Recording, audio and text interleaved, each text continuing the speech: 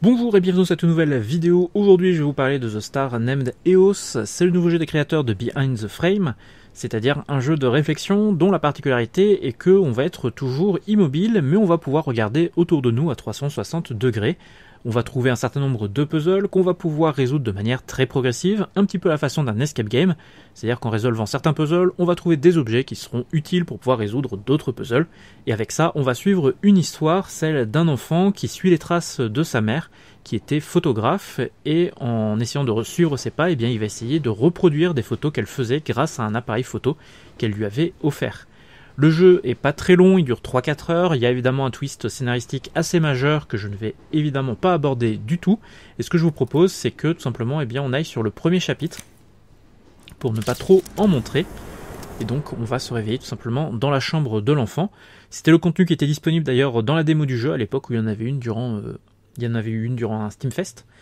Donc a priori, si vous avez déjà fait la démo, vous connaissez déjà le jeu et vous n'avez aucun intérêt à regarder la vidéo. Mais sinon, eh bien, sachez que ça ne vous spoilera pas trop.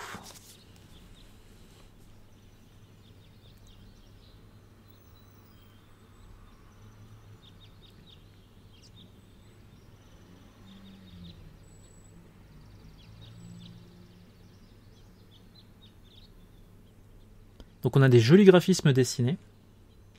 Et donc là on est immobile et on peut regarder autour de nous à 360 degrés dans la pièce et essayer de comprendre bah, ce qu'on va devoir faire. Alors ici, on nous demande simplement d'allumer dans un premier temps la lampe. Et puis on a une enveloppe. Day, c'est nous. On a une photo qu'elle nous a envoyée. Et c'est cette photo qu'on va devoir tenter de reproduire à l'identique. Alors, cher Day, comment vas-tu? Je pense à toi pendant mes voyages. En tant que photographe, je dois immortaliser la beauté à l'aide de mon appareil photo. Je sais que ton talent est supérieur au mien et je suis convaincu que tu seras capable de trouver encore plus de beauté dans le monde très bientôt. Toutes les choses de ce monde brillent, toutes. Lorsque tu regardes les étoiles, les étoiles te regardent en retour, elles ne disparaissent pas lorsque tu fermes les yeux. Les nuages ne les rendront pas moins brillantes non plus. Ouvre les yeux et tu verras des étoiles filantes remplies de rêves. J'écris cette lettre à bord du train m'emmenant à ma prochaine destination. Les rideaux rouges et les fleurs contrastent joliment avec le vert de l'extérieur. J'aurais aimé que tu sois là avec moi pour, voir de, pour, les voir, pour le voir de tes propres yeux. Gros bisous, maman. Hop. Et donc, bah, nous voilà un petit peu dans l'endroit où on va devoir essayer de comprendre euh, ce qu'on peut faire. Donc, on a évidemment des petits éléments qu'on va pouvoir euh, actionner Ici, on trouve une sorte de, livre dans lequel on a une histoire avec des personnages qui font des choses.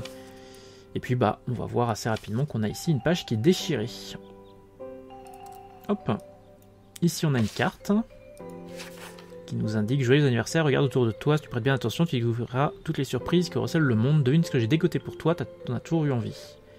Et donc, on a un appareil photo qui nous a été offert le 5 alors le 24 mai, ou alors en mai 2024, je pense que c'est plutôt le 24 mai. Voilà, j'ai reçu le cadeau d'anniversaire de mes rêves. Donc dans un premier temps, évidemment, il faut regarder un petit peu euh, ce qu'on a. Donc là, on a des symboles avec euh, marqué news en haut. Ici, on a un élément avec euh, une sorte de pétale qu'on peut activer. Normalement, si vous avez été attentif, vous avez déjà vu un endroit où il y avait les pétales. Ici, on a le coffre, avec visiblement un code qui nous demande 4 chiffres. Là encore, les 4 chiffres, on les a eus. Donc, a priori, on sera bien sur le 24 mai.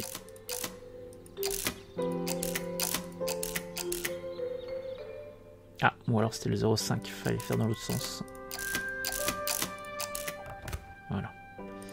Donc là on récupère notre appareil photo qui permettra de prendre la photo pour euh, cloner celle qu'on a reçue et on a un compas qui nous montre différents éléments et on voit qu'au nord il y a un petit symbole d'étoile là où dans les autres symboles, enfin les autres directions on n'a pas de symbole. Et on reconnaît au passage le NEWS de News qui donc en fait étaient les directions cardinales en anglais. Et donc maintenant on va pouvoir prendre des photos si on veut. Alors évidemment ici ça ne nous sert pas énormément. Mais on repère justement une fenêtre peu ressembler à celle qu'on avait sur notre photo et qu'on va devoir d'une façon ou d'une autre tenter d'imiter. Alors nous, on va continuer un petit peu à faire nos petites choses. Ici, il y a un tableau. Ici, il y a un petit, un petit jouet mélodique. on peut pas cliquer. Là, on voit l'élément. On peut déplacer le pot. Alors évidemment, c'est un petit peu le début de ce qu'on devra faire pour ça. Ici, on a un puzzle. Je m'amusais souvent à aligner les étoiles. Et donc pour ça, on peut tourner l'élément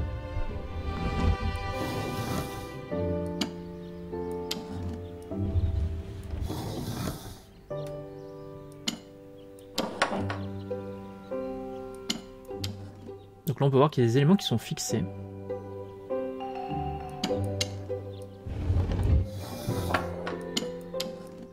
Donc là il va falloir trouver comment aligner tout ça.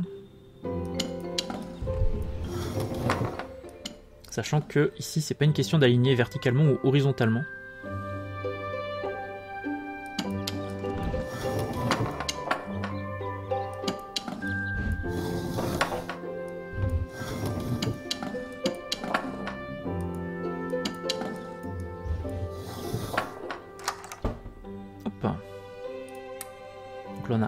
Manivelle, manivelle qu'on va pouvoir utiliser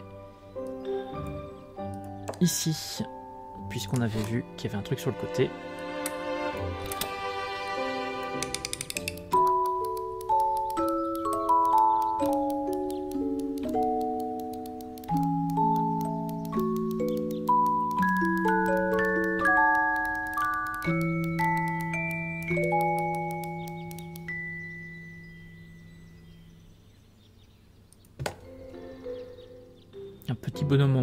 Qui a l'air de se sentir seul.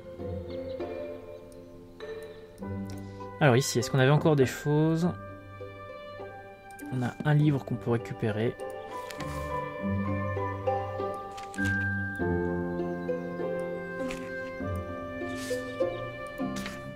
Et on a une page déchirée.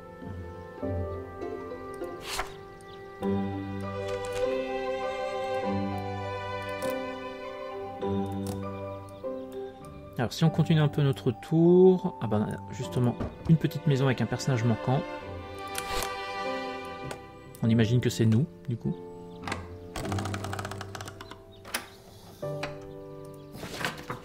Un poster de collection.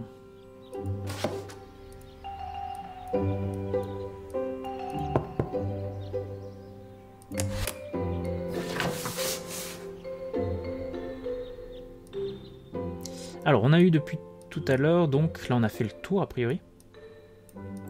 On a eu depuis tout à l'heure le truc associé au livre. On a eu une page déchirée. Donc on va pouvoir reconstituer. Et même si on avait compris jusqu'ici, je parlais tout à l'heure des sortes de pétales, en réalité il y a un truc qui est différent. C'est que, donc on a la séquence qu'on va devoir remplir, en haut à gauche, à droite.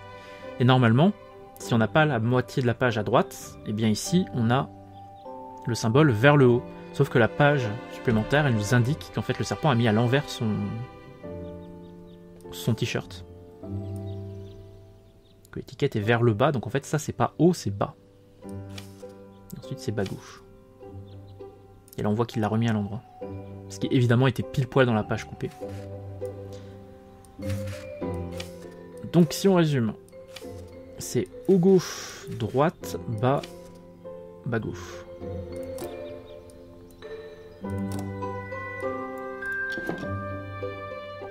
Haut gauche, droite, non pas haut mais bas, et bas gauche. Des fleurs en origami, un cadeau que j'ai fait à maman pour la fête des mères.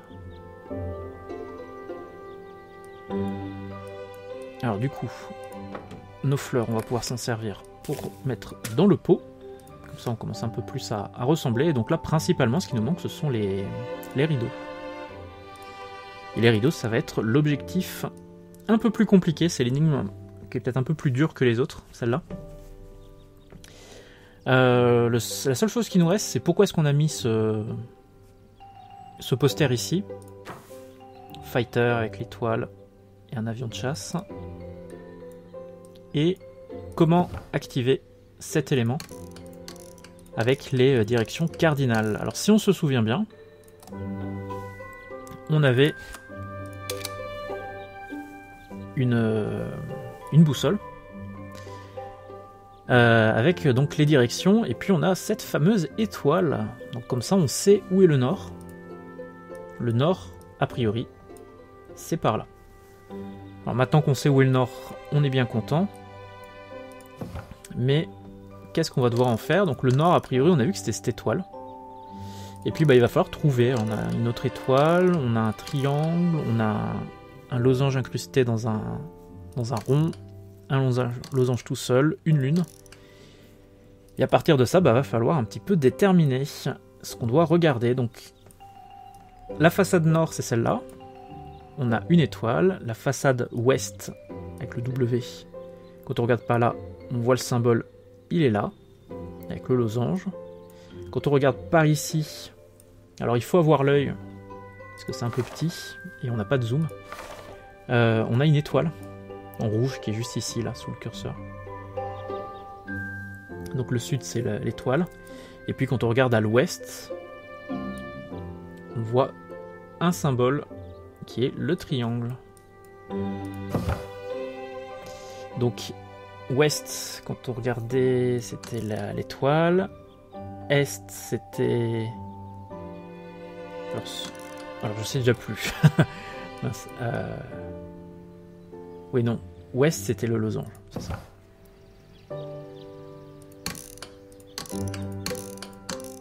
Voilà.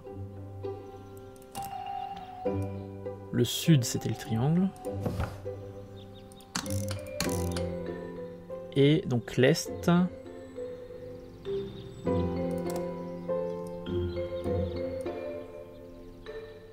Ah non, ouest, ouest c'était l'étoile. Tout.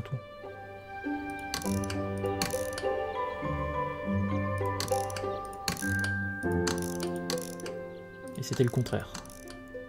Ça c'était sud. Pas du tout. Ah, il confond tous les symboles. Nord, c'est l'étoile. Gauche, donc ouest, W, c'est le triangle. Et est, c'est le triangle.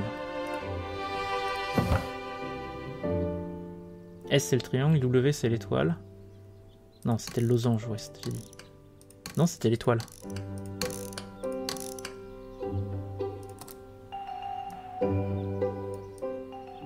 c'était le, c'était le losange. Inconstant. Mémoire 5 secondes. Grand maximum. Voilà. Et donc on trouve nos fameux volets, évidemment, nos rideaux. Hop. Donc là on peut prendre les rideaux. Et maintenant on peut faire notre photo en zoomant. Et donc on a reproduit la photo qu'on avait avant. I've always believed that seeing it gives it reality. If you see something and experience it as beautiful, there is beauty.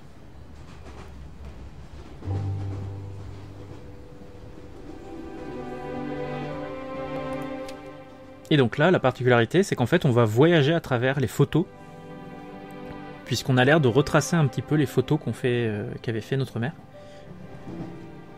Et donc, bah, on retrouve cet endroit-là, et à chaque fois, au début, on va avoir une petite lettre qui va nous raconter des choses, et on va voir la nouvelle photo qu'on va devoir tenter de recopier. Et donc là, en gros, elle nous explique qu'elle est actuellement sur un dans un, restaurant, en train de prendre une collation. Et donc, on va devoir à nouveau reconstituer cette, euh, cette photo pour pouvoir s'y rendre en tout cas, ou retracé. Et donc là, on est dans un nouvel environnement de façon assez fluide. On a une carte. On a une valise avec un code avec des symboles. On a une boîte dans laquelle on va devoir faire glisser des éléments pour a priori faire une route au, train. Ça se comprend assez rapidement, sachant qu'il y a des éléments qui sont bloqués. Donc là on va bien se marrer si on veut faire euh, passer quelque part des choses précisément.